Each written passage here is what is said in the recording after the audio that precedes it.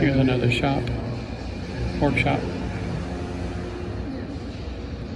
And what are they working on in here? So these are probably furniture students because I see them there. Furniture students. There are also some smaller mock-ups. Sometimes they're not always making full-size furniture. They're making mock-up before you go to the front.